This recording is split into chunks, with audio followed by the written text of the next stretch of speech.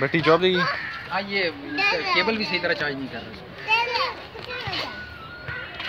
आज हमने छुट्टी की। अच्छा तो- दिन का टाइम गया कहाँ। अच्छा तो हमल भाई? तो